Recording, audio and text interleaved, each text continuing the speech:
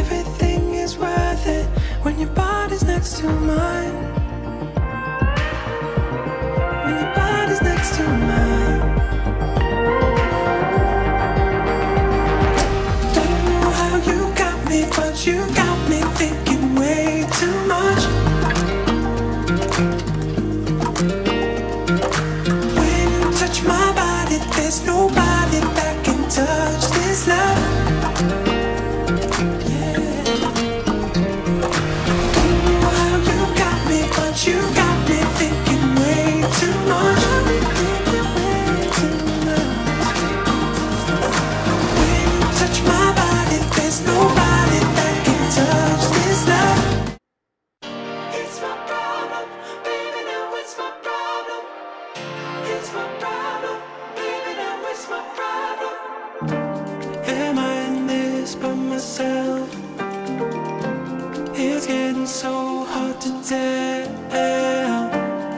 What's of you that I felt? Hi. There he is, Jon Sandler. How are you? man? Man, I, have been in Great Good Fine OK universe for the past like week. So ah, great. I am. I feel like I am Jon Sandler right at this point. That's a good place to be. Good place to start. Like what? There's a lot of dancing in that place. A lot of dancing. There's a lot of- yeah. A lot of moving in that universe. That's Uh, right. That's right. But of course, Well, John uh, Sandler. Bill's. Oh man, it's great to see you. Of course, of a great, good, fine, okay. One of the a great, a great, um, you know, dance duo that's been going on for ten years. That's incredible. Congratulations. Thank you very much. Yeah, no, it's it's not lost on us how rare and kind of crazy that is that um that we've got on this long. Does it feel, John, like like ten years, like oh god, a decade, or does it feel like it was just yesterday that you met Luke? Uh, it's funny. Sometimes it seems like just yesterday, and sometimes it seems like a long time. Like it seems like a long time since we like wrote our first song together. That seems like ages to ages ago. Sure. But but there are certain like shows, like um when we played our first seven shows at South by Southwest in I think it was 2014. Those shows are like it seems like yesterday. Like I can still feel what that felt like driving down there, and you know that whole thing. So yeah, kind of uh, situation dependent. Totally, totally, and and it's incredible. I mean, I'm constantly amazed at um, you know, longevity in this industry, John. You know, obviously, lots of friends here in Nashville, and and you know, bands break up, bands grow up, and all sorts of things happen. Kids, um, you know, but but just to tell my audience that may not know uh, about you guys, I mean, you guys have written songs by St. Lucia, Foxes, Twenty One Pilots. You guys have toured, like you said, South by Southwest. You know, with Betty Who, Joywave, Magic Man. I mean, I could spend 17 minutes just talking about your accolades. But what's been the secret, you know, John, to the longevity? You know, I'm sure you're a different guy than you were there. How how, how are you guys have been able to keep it together? Yeah, I think that, well, first of all, Luke and I have become friends, you know, so that helps. We actually like working with each other. And I think there's like, um, you know, we, we really like fill in the gaps that the other person doesn't have. Luke is very much the producer, engineer, uh, musical mind of the whole thing. He has, uh, you know, a master's in jazz composition, and and I've never been, uh, I, I never went to music school, right? and I write um, most of the lyrics and the melodies and am like the emotional being in the thing, right? And so our two things combined uh, are is it's really special, and we just never take that for granted. It's like, um, yeah, we we've always said we feel like we're greater than the sum of the parts. And I think we, you know, things have gotten tough. We obviously, when you're in a relationship with someone for that long, it feels like family, you know, and you butt heads. But I think we always kind of come back to that place where we're like, okay, wait, but we have something really special, and uh, and let's keep making music and content. And whenever we just like do that and focus, um, it's exciting and new things happen. yeah. And yeah, like we keep getting cool opportunities. Like we keep doing cool collaborations. uh, Great things keep happening, so it's easy to just kind of stay in it, even though it's been a long time. Sure. Sure. Yeah, that makes sense, John. And by the way, you know, your new single Blame, which is out now, by the way, I mean your your song, your voice sounds so good. Your falsetto. And and, and pardon me if I'm wrong, but like I said, I've had a chance to kind of listen to your whole like journey. I feel like your voice is as good as ever. I mean, you still have the falsetto, but I feel like you got a little bit of range, you got some maturity in there. Am I reading too much into this or am I wrong?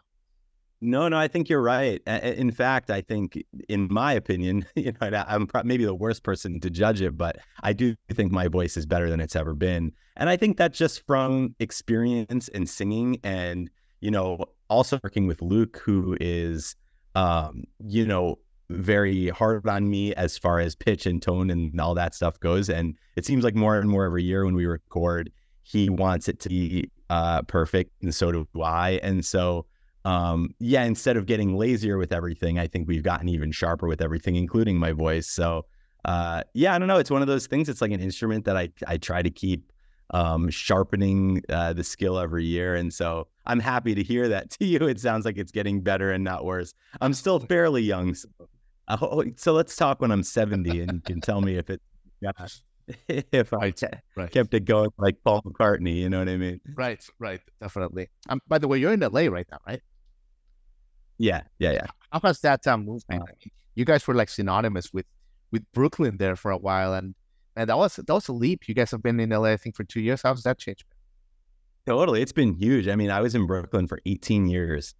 Uh, and really, that was my home. And I love New York. And it's like definitely my heart. And Luke was there for a very long time too. Uh, he and his wife moved to LA about a year and a half ago now. Um, and I just moved here six months ago. And yeah, it's very significant for us to be here. Uh, but it does feel like the right place to be. The collaborative energy in LA with Sure. all the writers and and producers being here right now, it's just kind of a no brainer where we have to be. Um, and since I've moved here, uh, we've been a lot busier working together. The other two guys in our band, Danny and Carrie, also live out here. Um, so it just makes, like I said, collaboration a lot easier. Uh, and so, so far, so good. Yeah. You know, I, I- I totally hear you on that. Like, I'm in Nashville, and I'm constantly amazed with that. You know, like I, I see, you know, some of our artist colleagues, they goes and, and they get constantly inspired by like what's going on, you know, with all the colleagues. Yeah, Nashville is the same kind of place uh, where there's just that spirit of collaboration, even more Yeah. than New York now, uh, unfortunately. Why is that, John? Because you know, when you read about like the early 2000s in New York, I mean, I love New York as much as everybody, you know, and you read about you know that era, of the yeah, yeah, yeahs, the Strokes, and actually my good friend Nicole Atkins, Lee Tyson, that are from New York but live here now. Like all these like incubation of New York energy that happened. Why do you think that kind of like dissipated? Yeah, and and you're totally right. And when we started in 2013, uh, it was still kind of like that, and New York did feel like the right place to be. And all of the people I'm talking about who are now in LA, who we collaborate, were in New York. It seems like everybody we work with out here lived in New York, and um, I'm not 100 percent sure why there was that migration, uh, and I wish it didn't happen as a New Yorker, but um, but it just did. And now, obviously, and and don't get me wrong, there's probably great scenes in New York still um, that I don't know about, uh, and people thriving there. Uh, and then obviously, theater is um, 100% there, and other different kinds of art forms are thriving there. But as far as pop music goes and uh, pop writing, producing, and that kind of stuff, it does seem like LA is the place to be. Yeah, hundred percent. And and I'll, ask you about Blame in a second. But are you into theater, John? I love it. I've, I, I, you know, I was in musicals in high school, uh, and then I did uh, a musical in college, and um, that's as far as my own theater career went. But I love going to Broadway, and yeah, I have some really good. That That's makes really total good- sense, John, because you know, just seeing videos of you guys perform. I mean, I remember seeing one from Firefly 2021, I believe. I mean, that's a that's a that's a whole experience. It's not just a musical show. You got the kimonos going, you break the fourth wall with the crowd. Um, you know, it's it's just like a spectacular kind of like 360 experience. Is that where the, I was gonna ask you? Is that where it came from? From like your Broadway kind of inspiration, or was it like you know you saw David Bowie when you were a child and it just blew your mind? Yeah, I mean, I think Luke and I both take performing as an art form really seriously. where we do consider it more uh you know obviously the music's the most important thing but we want it to be an experience for people. We want it to be a show. Um to what you're saying some of my favorite artists are prince and bowie and michael jackson and these people who were performers. And i've always been like that. Not only am i a singer and a songwriter um i you know performing is one of my favorite things. So uh any anything we can do to make it feel like an experience for people we're going to do um and so i'm glad that it comes across so thank you Oh yeah, absolutely, absolutely, John. And uh, let's let's shift gears here with uh, the new single "Blame" because it's it's the first preview of you know it's like your first new music in a couple of years and uh, of what's to come in 2024. But I think what I love the most, obviously, it's still like you know your sound and your voice, but I feel like it, there's a lot of depth and beautiful messaging to it. And I think that your empathy, John, you're a beautiful human being. You've always been you know in tune with women's rights and with minorities. You've always been very empathetic in your in, in your in your life. And I think this this song speaks of that. And, and and correct me if I'm wrong, but I think you're making you're talking about empathy and other people's problems becoming your problems and kind of like that being like the next step of love, like loving another besides yourself.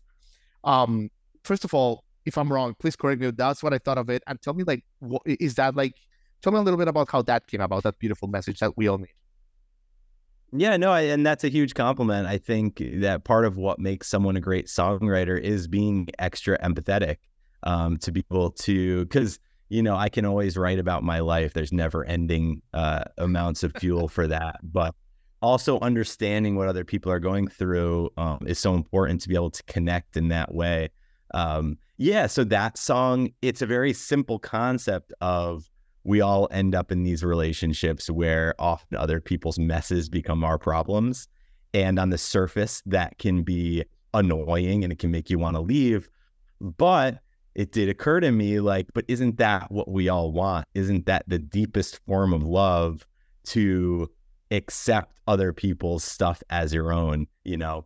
And so, yeah, I mean, you put it well, and that that's kind of that is what that song's about. And for this next batch of songs, while we continue doing what we do best, I think, which is writing about very simple, easy to understand concepts and everybody can relate to, I think there's this gray area and nuance that everybody can um, kind of inject their own um, interpretation and meaning as it relates to their own life. Um, we tried more lyrically on this one to be a little more like, um, like I said, gray area and so, uh, yeah, we're excited about that one. We like that that one feels quintessential GGFO as far as it being dancey. Um, we're huge fans of disco, and we feel like that's definitely the most disco song we've ever done. Oh yeah.